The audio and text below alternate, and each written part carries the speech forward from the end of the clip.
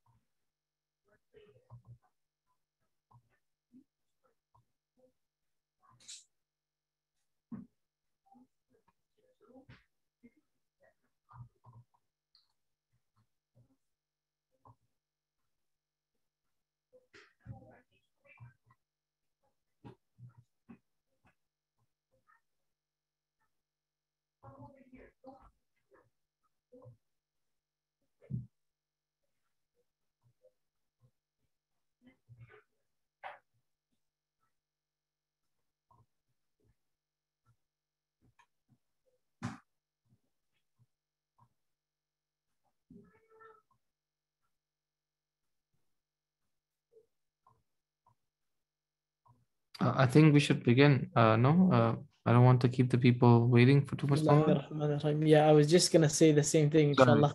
Sorry. Um, Assalamu alaikum wa rahmatullahi wa barakatuh.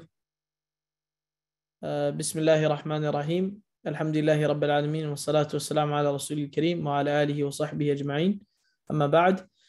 Um, we welcome you all, inshallah, to this program today uh, with our respected uh, guest, um, speaker Imam Aarij.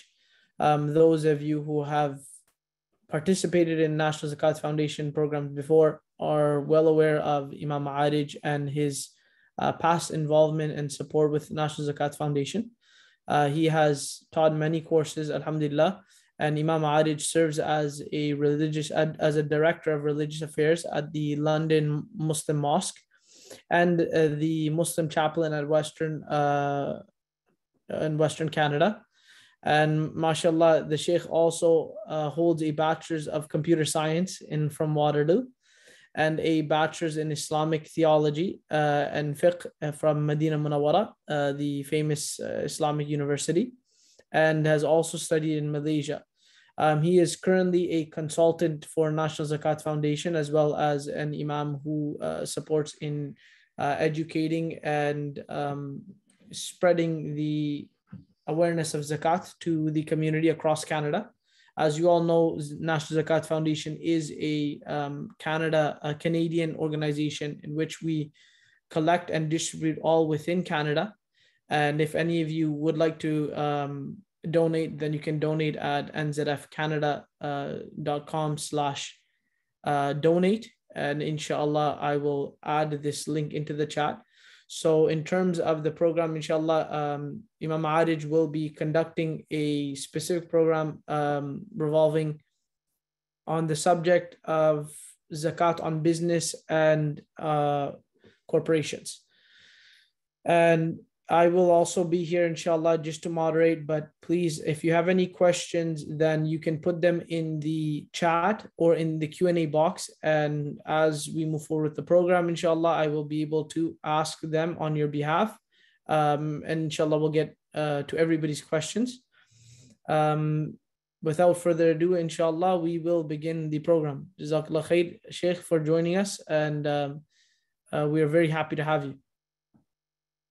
Jazakallah khair, Shaykh Nabil, for having me. Ar-Rahman ar-Rahim. Alhamdulillah, wa salatu wa salam ala Rasulillah wa ala alihi wa ashabihi wa la amma. Uh, Assalamu alaikum wa barakatuh, everybody. Thank you for joining. Alhamdulillah. Uh, can you just, uh, can someone, just want to make sure that people are able to type and I'm able to see their messages. Can you just type yes or one if you hear me okay?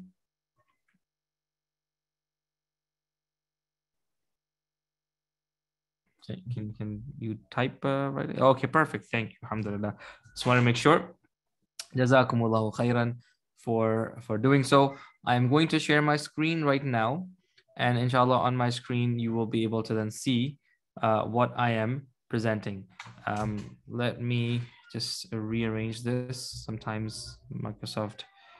Uh, okay, can I uh, be? Can I sh share my screen, um, Sheikh Nabil? If you can give me the access to do so, please.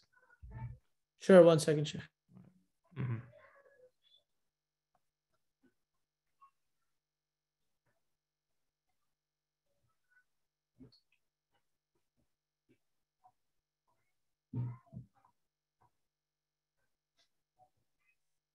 you are now the host, so inshallah you Okay. should be able to share. Perfect. Excellent. Thank you very much. All right. Um, let me share my screen right now. Okay. Alhamdulillah. طيب.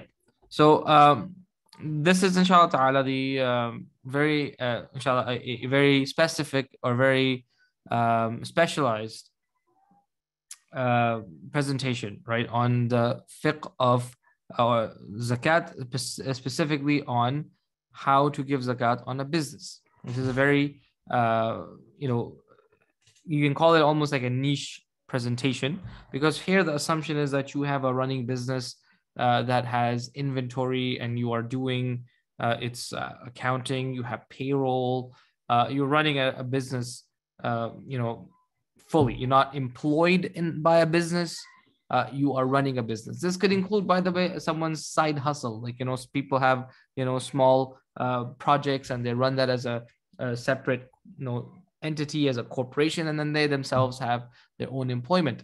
Both of those things are okay. Either way whether you are you know doing this as a side hustle whether your business you run it fully inshallah ta'ala this will be beneficial for you. Uh, the geared uh, the presentation excuse me is geared more towards people who are running it end to end but i will point out a few things that are applicable to all.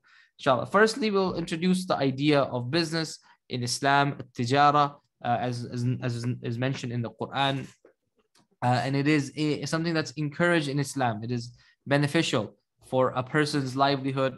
It's productive for the economy. It has uh, you know the the thing that a business gives you know like there's a hadith about yadul uh, sufla. The hand that's the upper hand is better than the lower hand. The giving hand is better than the receiving hand. As a business owner you are often the giving hand right? Not in every transaction. Sometimes you have to be the one that receives but you are largely the one who is giving uh, uh, and that leverage affords you power, independence, comes with barakah, with blessing, uh, and it allows for a person to do a lot.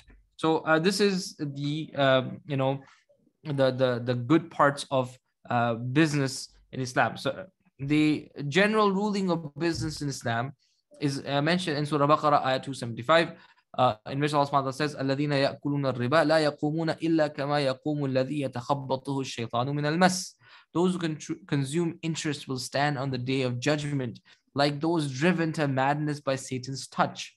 ذلك بأنهم قالوا إنما البيع مثل الربا. That is because they say trade is no different than interest. It's all the same. What's the big deal? وأحل الله البيع وحرم الربا. But Allah has permitted trading and forbidden interest. This is important. The distinction is made in the Quran very clearly. Those are two separate transactions. Interest is on a debt bearing uh, security. Uh, trade is for an asset, a commodity, something that's, you know, a product or a service. Uh, that is what trading is. Interest is making money on money. Okay.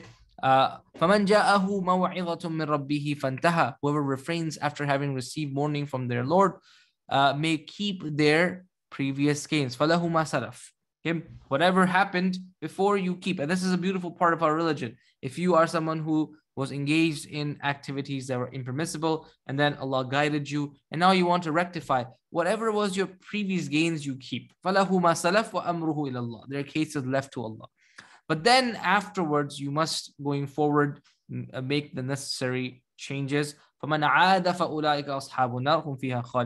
As for those who persist, it is they who will be the residents of the fire. They will be in there forever. This is a very severe punishment that Allah mentions for the ones who engage in, uh, you know, in, in, in consuming riba. We ask Allah to protect us from that. Um, the benefits of business, as we mentioned before, uh, independence, as, as Sufyan states that uh, if it were not for the wealth, the governments and sovereigns would take advantage of us like we were handkerchiefs. Uh, it's a very good point from uh, Sufyan uh, rahimahullah. Uh, having a business affords you independence, autonomy. Uh, it allows a person to feel a, a heightened sense of piety and barakah, as mentioned by Abdullah bin Mas'ud. So a single dirham from a business is more desired to me than 10 dirhams provided by the government. And this is an important part of our deen, that our deen uh, and then our righteous predecessors prioritize, um, they prioritize earning uh, their wealth and earning their livelihood because that was an extension of their worship. That was an extension of Allah's blessings. And uh, handouts and, and welfare for them was for the one who can't do it, right? The one who's just unable to, and they would prioritize themselves to go and you know, earn their wealth. Of course, growth as well. Uh, you know, as the Prophet said, as narrated by Jabir and Allah, allow the people to be, Allah will sustain them by way of each other, right? And the idea here is that as people exist, you know, in the, you know, in a, in a system that allows them to trade off each other and then mutually wealth grows. So this is that. Some some basic idea, and as as we talk about the blessings of business and the blessings of wealth, you also should, you know, we will be averse to not talk about some of the uh, pitfalls, right? Uh, a person who is a businessman or businesswoman, if they uh, acquire wealth uh, in a, in a manner um, that is impermissible, that it will be there will be a lack of blessing in that, uh, and the the impermissible means are you know specified in the Sharia. It has to be void of interest. Uh, interest and usually is riba, right? Uh, it should be void of extortion, that is, uh, you know, taking advantage of somebody that's dhulm, right? Uh, or zur, gambling. It's, it's called uh, muqamara in Arabic or in the Quran referenced as uh, uh, maisir, okay? Fraud, this is uh, cheating. Man ghashana laysa minna, right? Wala, um, وتدلوا بها إلى الحكام لتأكلوا فريقا من أموال الناس بالإثم وأنتم تعلمون. The Quran references this as well. That don't create a system of fraud and corruption where the powerful take advantage of the powerless. Okay. Uh, theft, of course, ولا تأكلوا أموالكم بينكم بالباطل. The Quran says don't uh, consume each other's wealth wrongfully. Uh, right. And indecency, of course, the idea being it is uh, what, you know, uh, making products that are indecent or selling products that are indecent, of course, is to be avoided uh, as part of what is haram. And of course, uh, part of us uh, being Muslims and part of us being, uh, you know, faithful believers is we give our zakat every lunar year. Now, the important thing is if you are an individual and you have no business, all you have is your employment, then you pay your zakat. Alhamdulillah, that is the end of that, right? Uh, you calculate it whenever you calculate it, and then you give it. If you are a business, yeah, if you are an individual and you have a business, you have to calculate the two uh, zakats. Now, you can do it all in one if you want to, but my recommendation would be, and this is something that I think could apply for everybody, uh, is that you separate the two uh, out for yourselves, just like you would separate your taxes. You would do your personal tax at a certain time and your business tax whenever your uh, whenever the fiscal year for your business is done. Uh, and you do this uh, largely because the business assets, the business expenses are kept separately so that you don't pay a higher rate of tax on it personally. Largely, I would imagine that's the case. Would you all agree with that? Maybe in the chat, someone can say yes or no. Do you agree, disagree? But yes, you agree with that. Perfect. So same reasoning would apply for making the zakat calculation for it as an independent entity. Doesn't mean that your zakat or your business is now like a mukallaf person, a person who is liable in the eyes of Allah. No, you are liable for your business. You are still the one who Allah will ask you about. But you're doing this to allow you to make sure that each each um, each entity, your personal assets, you calculate zakat on it and give it its due. And then your business assets, you calculate zakat on it and give it uh, correctly and appropriately. All of this is to be done. And that's what I recommend to anybody who has a business, whether it's a side hustle, whether it's a holding company, whether it's like a full business that they're running. Either way, I would encourage you to calculate its zakat as an entity and pay its zakat as an entity. Deductible debts. Now we're going to talk. Uh, we're going to get into the technicalities now, inshallah. Okay, and the technicalities here are, are going to be about. Uh, we're going to focus of initially on debt because uh, quite often debt is required to operate a business. Okay, uh, and how do you how do you calculate uh, or factor debt into uh, your calculation of zakat? Say you have the basic idea of zakat is it's wealth that you have had for a lunar year, then you pay zakat on it. Okay, but debt that you have uh, borrowed that is not necessarily money that is yours so you can, you can deduct it from your overall wealth in in other words money that you have borrowed from somebody is not yours so you don't pay zakat on it everything else that is yours you pay zakat on that's the basic premise so here we're going to talk about deductible deductible debts short-term liability right debt and liabilities that are due within the next lunar year are deductible. Okay. Long-term liability. This is the idea that, uh, sorry, the first, the short-term liability. The idea here being is that this is something you must pay within the next lunar year. Okay. So this is money that you have borrowed that you owe within the year. That money that you borrowed isn't yours, even if it's sitting in your bank account. So if you were to do your zakat calculation for your business and you look at your business bank account and you're like, this is the money I've had for the lunar year, minus the money that I borrowed as a short-term liability. Everything else I pay zakat on. That's the idea there. Long-term liability, what if it's like a multi-year loan? Well, then you take uh, one year's worth of payments and deduct it. Say you have a multi-year loan uh, of you know uh, a hundred thousand dollars for your business, okay, uh, and then you pay uh, a thousand dollars a month as repayment that equals $12,000. It's as if for the short term, that one year, you have $12,000 that, you know, that, that is in your bank account. That's not yours. Everything else is yours. You pay zakat on that. Okay. Arrears are, you know, money uh, that is owed uh, and, um, you know, those overdue expenses can be deducted. Once uh, can one can deduct whatever is uh, currently due on their zakat anniversary. Okay. So this is an important aspect uh, uh, that when you are calculating your zakat, again, the principle in zakat is that if it is money that is someone else's, then you don't uh, pay, right? Uh, but arrears is money that is owed and should have been paid earlier, right? You should have paid it before. Uh, so it's as if you are going to give this money to somebody. You've already earmarked it for somebody. You see, uh, and that was say like say my business's uh, zakat uh, date is today okay? But i had char i, I had pay uh, used the service uh, last week okay?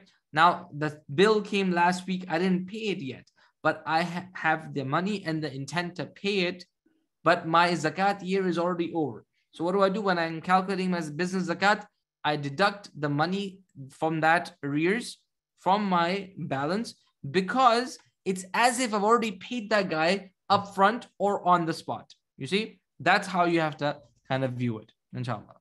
Uh, and again, uh, debts to be re- repaid within the next 12 months should be deducted if the ability to repay the debt is impacted by the zakat payment. And in other words, that if you feel that the debt is not overwhelming, overburdening, and you're able to manage without it, then it's safer to pay zakat without factoring that in them in.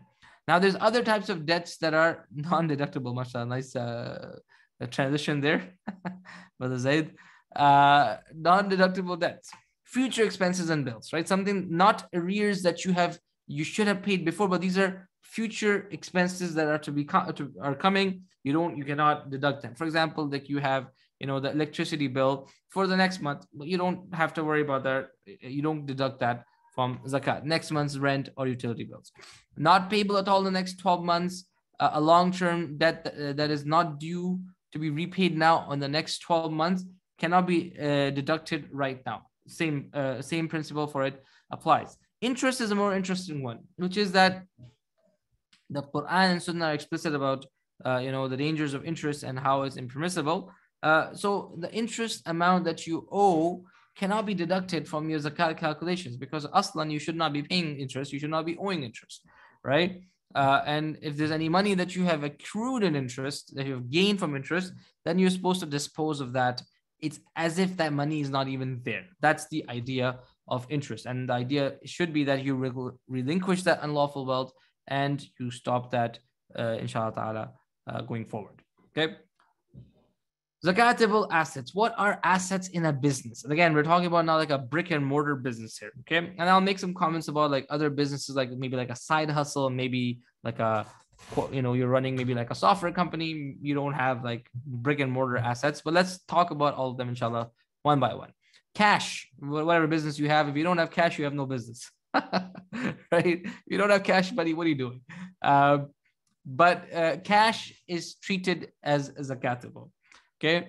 Uh, it is payable on currency as it is productive wealth according to zakat principles. It is what's known in Arabic as ma'lum min ad-din bil right? It is axiomatically known. You have to pay zakat on cash. End of story. Okay. And gold and silver, uh, that is the you know original form of the currency. And today the fiat currency is the de facto currency. So we pay zakat on cash. Your cash that you've held in your business that you keep for a year, that is what you pay zakat.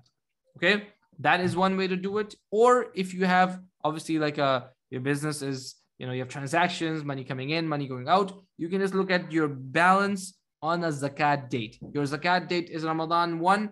Ramadan one, you look at your bank balance of your business and you say, This is the cash I have, and I'll pay zakat on this cash. Alhamdulillah. Okay, that is the zakat 2.5% on the cash. Cash receivables is cash that you are expected to receive, correct? That's uh you know this is cash you're certain you're going to receive right like there's no doubt about it in your mind uh, you this is also uh, eligible for zakat because it is as if you have it in your hand trade receivables also are as uh, zakat eligible uh, this is outstanding invoices for goods and stocks sold on credit are zakatable Zakat is due on the trade stock and therefore due on the receivable. Just like on inventory, as we should talk about this, the inventory is an asset, what's called urud tijara in Arabic. Okay, urud tijara is what you sell to make money, right? So that is something that's a asset that you pay zakat on. Okay, unlike other assets like a car, your personal car, you don't pay zakat on it; it's excluded, right? Your, if you had a horse, you won't pay zakat on it; it's excluded. Okay, but uh, your urud tijara, the things you are buying and selling with, you would not, eh, sorry, excuse me, you had to pay zakat on that.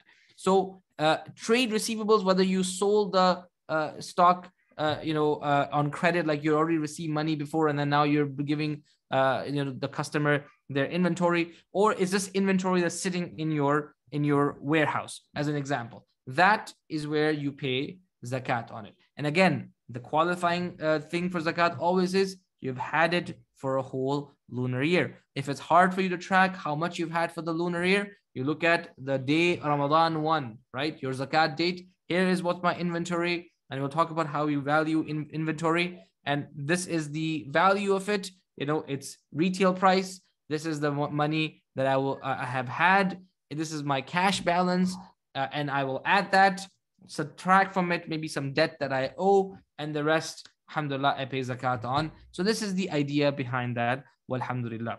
Okay. If we have, if we proceed to go forward, by the way, if you have questions, you can leave them in the chat or you can put them in the QA, inshallah. Let me know. What about software or apps? This is an interesting point because uh, you know, uh, stock and inventory you can value it. Like if I'm selling cars, I can value the car and the car has a finite value, right? And I have a finite number of them, right? I have 100 cars in the lot. That's it. I don't have 101. But software, I can send unlimited amounts of software, subscriptions to maybe like a product that I'm selling, like an ebook. I can sell unlimited ebooks, right? Uh, so how do you value that? Uh, in my opinion, the way you value that is you look at your revenue. You look at the money that you made in revenue from the sales of your e-products, whether that's software as a service, whether that's you know any product that's digitally sold, whether it's an app with a subscription to and we're not you not we're not taking valuations here. We're not taking uh, company valuations because that's subjective. We're just looking at cold hard cash. Revenue is facts. You know, profit is opinion, like they say, right? So you look at uh, the revenue, and that is the cash. Of course, you deduct from it whatever else is to be deducted, as we'll come to that, and then you pay zakat on that. That, wallahu alam, is the best way to go about uh, digital assets. Okay. Uh, non-zakatable assets are uh, as follows. Okay, they are uh, service receivables. Okay, so say you know services are considered non-zakatable. Okay, services uh, the receivables uh, due against services provided are also non-zakatable. This applies to outstanding fees, accrued income, wages. Okay, say you are a you you are a barber. You cut hair. That's your business, right? It's a service uh, you know, that service, the cutting hair itself has no value and has no zakat. Okay, it's not a urud tijara. It's not a asset that you're buying and selling. Okay, uh, what you are valued on is your uh, the amount of sales you made, the amount of hair you have cut. That's how much money you would get. So the, there's no zakat on the service of cutting the hair. Okay, uh, the zakat is on the cash. Okay, prepaid expenses. The prepaid sum is no longer in one's ownership, therefore it's not zakatable, right? You've already paid it, khalas is done, it's not even there. Okay. Fixtures and fittings, property, plant equipment, uh, in, intangible fixed assets. In, in the, this is the example here. These are what's called long-term assets. Long-term assets of a company are not zakat eligible. Okay, short-term assets are zakat eligible. What is that? Short-term assets is the example I gave in the zakat seminar of investment was of a bakery, right? the the short-term assets for a bakery would be the flour, the dough, the the bread, mm? and the long-term assets would be the oven, the bakery itself, the sign outside the bakery, right? All of these things, fixtures, fittings, property, plant, equipment, there is no zakat on it. Okay. Whereas on the short-term assets, the assets that you uh, are, are using to create your product, like the flour, for example, or the product if you created, the zakat is due on it. Of course, again, given the caveat that it remains with you for a year. Okay. Now we move on to non-zakatable assets, receivables, stuff that you will receive, right? You're owed that. Yes. All right. Let's look at what that is entailing. Uh, non-zakatable receivables are payments that have not yet been received, such as wages not yet received, right? If you have not received wages, uh, you know, there's no zakat on them until you receive it, alhamdulillah. Okay, rental payments not yet received. Maybe you own property that's part of your business. And mashallah, as you own property, um, uh, you know, like you have, um, uh, you know, your, your, your tenant hasn't paid you rent right? Well, you can't pay zakat on that cash because you haven't received it yet. Okay. Uh, and similarly, inheritance. I guess inheritance is not really part of business, but you know, you get the idea. Maybe it is. Maybe you're inheriting business from your from someone, mashallah, or someone's making a bequest to you. Allahu Akbar. You are lucky guy. Alhamdulillah. General ruling is do not add this money to your assets until you receive the funds there is no backdated zakat on these funds. Of course, the one of the important prerequisites for zakat is istiqrarul mal. What does that mean? Istiqrarul mal. It means the money is in your hands. It's accessible. It's with you. Okay. If you don't have access to the wealth, you don't pay zakat on it. It's very straightforward. Excuse me. Uh, moving on to our uh, next slide, which is other deductible business liabilities. Okay. Again, I don't want to make this into like a tax clinic here. Okay. That's not the pointer. But these are things that you don't have to pay zakat on. That's what we're trying to say.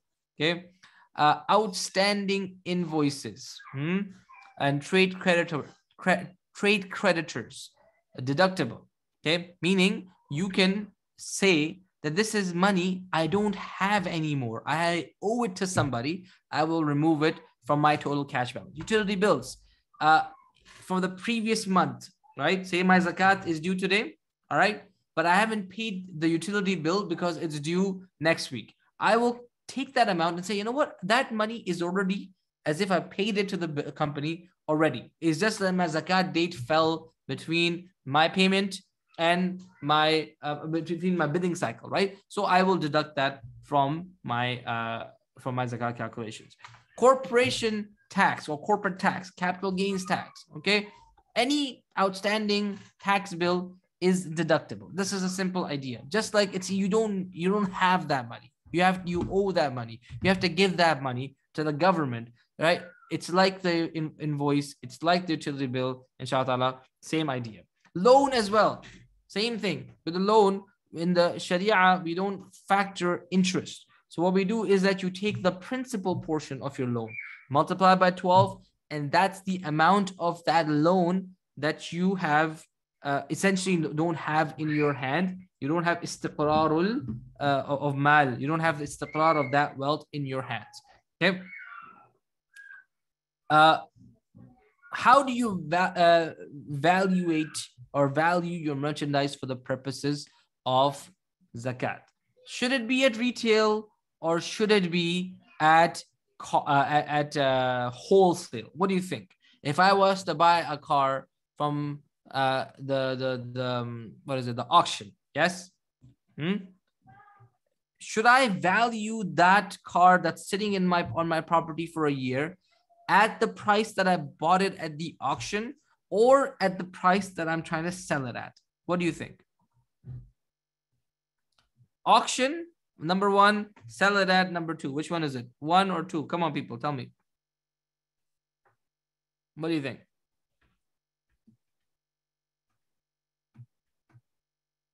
Okay, let me give you uh, an easier example. Say I am importing iPhone cases, right? Mashallah, I'm a miskin. I'm selling these iPhone cases on Amazon for a loss. Anybody who has sold stuff on Amazon knows what I'm talking about. Okay, so I'm importing iPhone cases from China. Okay, now I import them from China at a, a, a very low cost, $1 per iPhone case. Okay. Now my inventory is sitting in, in the Amazon warehouse, not selling because like a miskin, it's not, you know, Amazon is suppressing me. uh, so now here's the question. All right. I'm trying to sell the inventory for $10, $10 for the iPhone case. Okay. But I bought it wholesale for a dollar what figure do I use? $1 or $10 for valuating my zakat? What do you think, people?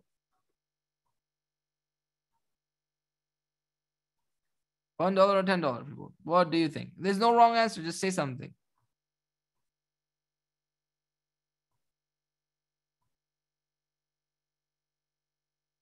Okay, here's the hint. The hint here is that all stock should be valued at retail price. Ah, so what do you think? Is it one dollar or ten? Ah, son, thank you, Alpha Diallo. Very nice. It is exactly ten dollars. It's at the retail price. Once the zakat anniversary, the day you owe zakat comes, on that day you look at the retail price of your stock, and that is how you value it. This is, of course, if you're selling physical stock, right? If you're selling software, again, software is not uh, you know, like um, an actual. It's not. It's not. It's not a uh, product that's sitting on your shelf. You can sell because the product sitting on your shelf is limited, right? Software is unlimited. You can sell as many, uh, you know, as possible, right? Unlimited amount, really. Okay. Uh, dead merchandise. Okay, this is merchandise that is uh, depreciated in value and is liquid. An example of this was maybe you are selling CD players. Okay, mashallah, that was your business. And then along came the iPhone and put you out of business. Or the along came the iPod, excuse me, and put you out of business. That is a dead merchandise. You have hundreds of CD players in your inventory, and now they're worth next to nothing. So what do you do? Well, it should be valued at what's currently worth as dead merchandise. Is that CD player worth a dollar? Maybe it's worth a dollar. So you just value it as such, right? It has no actual resale value. And in reality, you might even like, you know, value it as zero uh, in certain situations. Undelivered merchandise. You ordered something from China and it's stuck in the supply chain. Allah musta'an. All the, the Suez Canal is again blocked. My iPhone cases are stuck on a ship. What do I do? Well, you're waiting for it to be to arrive uh, but you haven't been able to price it at its retail price because you don't have that money. You don't have that uh, stock in your hand. In that case, it's only fair for you to value it at the purchase price. Whatever you purchased it at, that's the price you value your merchandise on. Uh, let's add uh, a couple of more things here. Work in progress and raw materials, unfinished products and goods, raw materials, again, valued in their current state or at the cost price, whatever it costs you to source those materials.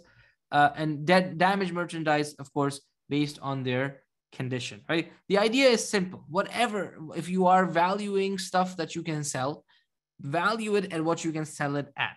If you're valuing something that you can't sell, okay, then value it, it as something that is almost negligible. Or if you're valuing something that you purchased, but you don't have it yet, your purchase price is what you value your inventory at, inshallah. All right. Now, let's took, take uh, some examples of valuation of inventory just to make it not so dry. Okay, mashallah, look at all these bright, nice spices. Allahu Akbar. Right, this is what this is paprika, this is turmeric, mashallah. Uh, I think this is chili. I don't know what this is salt, pepper, mashallah, excellent. Very, very nice, bright pictures. Bay leaf, this is the staple of all YouTubers, YouTube chefs. All right, let us consider how to value the value the stock of the following businesses. Okay, restaurants, ingredients, and all food stuff are zakatable and are valued at what they're currently worth. Okay, this is important. They're valued uh, at what they're currently worth. Now, of course, a restaurant is not going to have stuff sitting for a year. I mean, if they have you know stuff sitting for a year, you're probably not eating at that restaurant. Um, they're gonna uh, over the, the, their inventory turns over very fast, okay, because it's food. Okay, but certain food items can be long term. And even before that, maybe on the zakat date, the person looks at all the stuff they have, all the inventory they have, and they say, you know what, this is all the flour. This is all the stuff that I have to source my food, to bake my bread. And this is its value. Uh, currently, what you know it would be if I was to try to purchase it, and this is how I will, uh, you know, value it and then pay zakat on it. Maybe you are a person who has a jeweler, mashallah. You sell gold and silver. Allahu Akbar. Now, what happens in this situation? uh, anything that's marked for uh, marked for sale or held with the intent to resell is valued at their respective retail prices. Again, you price it by its retail price. Okay, uh, just like the example of the iPhone case, just like the example of the car on the lot. Okay, here is another one grocery store. Again, grocery store it's not going to you're not going to have groceries sitting around for a year. Again miskeen if your groceries sits in your store for a year you are a miskeen probably if your grocery store is about to go out of business. Uh, but as, assume you're now paying zakat just like you're, you're taking the method of paying zakat on your anniversary date for everything uh, irrespective of how long it's been with you okay? Then again you look at the retail price of the fruits and the veggies mashallah and then you accordingly pay zakat let's uh, turn our attention to business properties. Okay. Business properties and the importance of intention. We're about to finish, so I'll take a few. Uh, I'll take the questions, Brother Asif, at that time if you're okay with that. Okay. Uh, business properties and importance of intention. Uh, here again, the idea is its own uh, for the purposes of investment or the purposes of uh, you know making money by reselling. Okay, that's a business property or investment property. Residential property, there is no zakat on it whatsoever. Okay. Uh, properties purchased with the express intent to resell is valued at its current market value for zakat purposes, meaning your only intent to purchase that condo was to resell it. You have no intention of living in it or whatever, right? So if that property, if you have rented it out, you don't pay zakat on it. But if you are only purchasing it, and you know, say like you have removed the person who's renting, you're like you off you go, and now you're trying to sell it, and that property is sitting on the market for a year waiting to be sold. Okay, unimaginable in Toronto, but could happen. Okay, then that property is a pure business asset because you're trying to sell it just like you're trying to sell your iPhone case. All right. Then in that case, it's valued at its current market value for zakat purposes. And then you don't have to pay zakat on it until you've sold it. Once you sell it, you take the money and then pay zakat uh, on it uh, afterwards, inshallah. Okay. Importance of intention clear intention to sell, zakatable. Clear intention for personal use, not zakatable. Okay. No clear, clear intention. You don't know what you're doing. Allahu Akbar. No problem. No zakat until you make up your mind. Conditional intention, still no zakat right you're like if this happens if it turns into valuable if i you know go to pakistan and live there it doesn't matter right property has no zakat on it by default only when you have a clear intention to resell okay uh that is alhamdulillah that let's look at some question and answers that you may have inshallah um i have inventory but it's consignment I don't own it, but I do still have to pay zakat on it because I profit 20% on the shoes. Uh, Brother Asif, um, uh, what's it called? Are you here, Brother Asif? You're here, right? Uh, would you like to just like explain your your uh, your question? I've, I've given you the opportunity to talk, allowed to talk, if you want to, inshallah.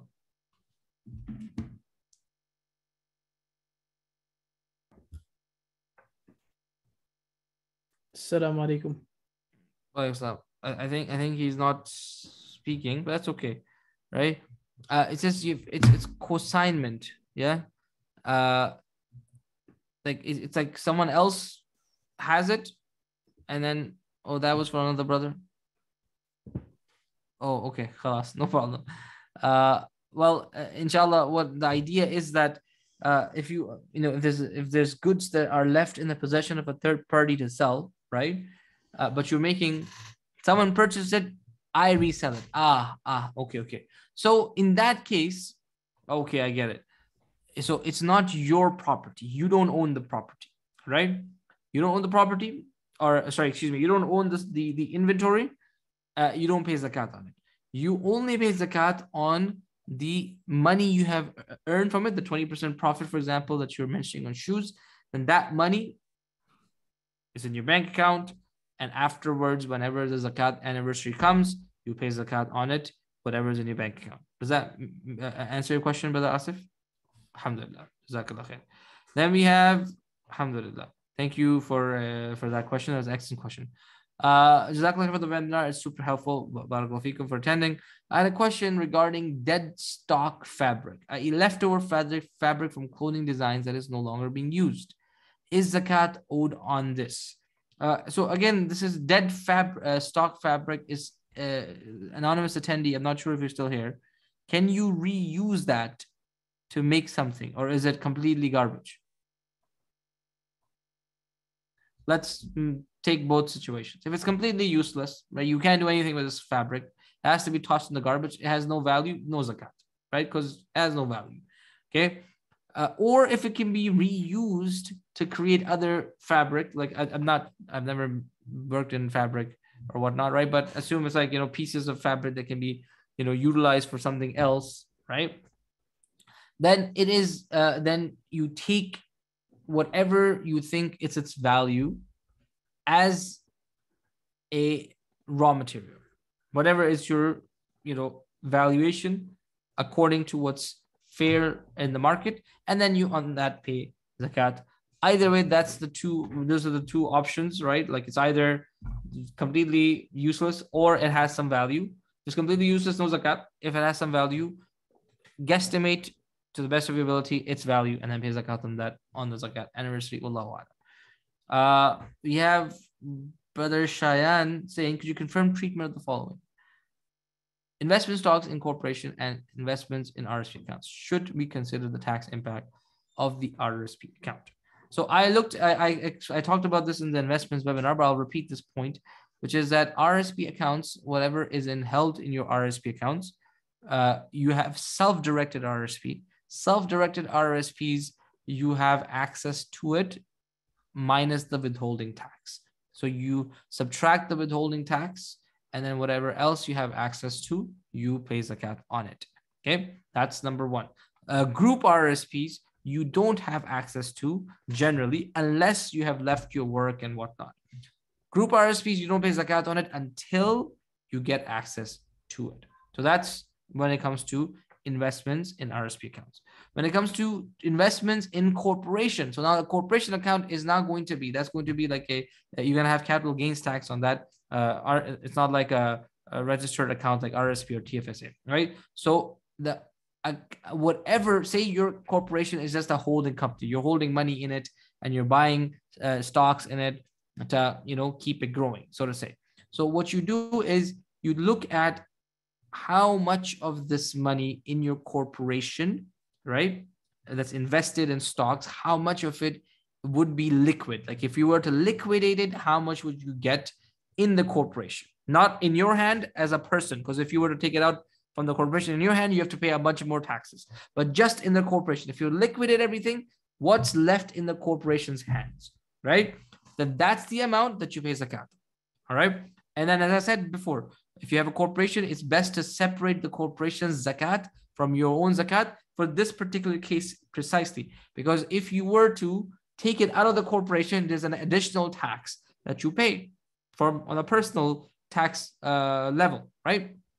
So that's why we say no, no. You're not. Your intent is not to take it out. Your intent is to keep it in the corporation, shelter it from the tax for as long as you can. So pay zakat on it as if the corporation is an entity by itself. I hope that makes sense, inshallah. Uh, we have Brother Asif second question. This time I buy a shoe. Oh, actually, sorry, Brother Asif, there was a uh, There was um there's also a question from Sajis Faizi. Forgive me for mispronouncing your name. I have a, a question. Please explain zakat about gold and cash money, dear teacher. Okay, so money is zakatable. You pay zakat money, right? Uh, gold uh, is if gold is bought as an investment, hmm, as an investment, you pay zakat on gold that is bought as an investment. Gold that is jewelry that you wear, uh, like a woman particularly would wear, because gold men can't wear, right? Uh, then that is a difference of opinion between scholars. The Hanafi school says you have to pay zakat on that, just like the regular gold. The others say no zakat on it because the jewelry is mayulbas adatan. It's worn, you know, regularly regularly doesn't have to be daily just like here and there a person wears it. Uh, that is like clothes so there's no zakat on it. So it depends on which uh, opinion you take but if it's investment gold gold you're buying for the sake of you know you're worried about inflation worried about a run on the banks you're worried about i don't know the world order collapsing you pay zakat on that inshallah. All right. Uh, we have uh, this time I buy a shoe for 180. It's worth $500. Allahu Akbar, brother. What is this? AJ's or something, right? AJ ones. I'm selling it for 500. Do I pay zakat on the 180 or 500? I believe 500 based on the retail example earlier, but I would like to confirm. Correct. You are absolutely correct in assuming it is on the retail price. If its stock price has increased in value, you pay zakat on that price, the retail price, inshallah. Uh, because with shoes, I'm deciding the selling price. I pay zakat on what I'm valuing. Yes, as you value it, as you price it, you pay zakat on it accordingly. It was the AJ one. Allahu Akbar. I knew it. Alhamdulillah. Excellent. Barakallahu inshallah. Any other questions we have uh, from the, the attendees?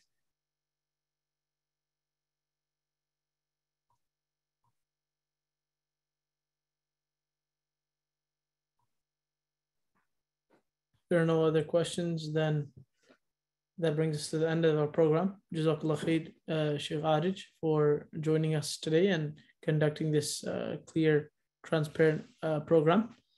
Hmm. Inshallah, we'll be having more programs with you. Uh, we really appreciate your time. Um, as I mentioned, um, that if anybody is looking to donate, then they can go to www, uh, www.nzfcanada.com slash donate. And I have also put that in the chat. And if you have any other questions, you can also uh, email uh, Imam Aarij, or you can also uh, go to NZF as we are having a, a service this year where we are providing consultations to anybody who has inquiries about their zakat and any specific questions. So Jazakallah khairan, and inshallah we'll see you again soon, Sheikh. Thank you very much uh, for having me, and thank you all for the questions. I, as I said, like if you want to, you know, follow me on Twitter, we can you can ask me questions there too. Uh, I actually like to interact on it more than even email. So, alhamdulillah. Inshallah. Barakallah Okay, take care. Assalamu alaikum. Assalamu alaikum.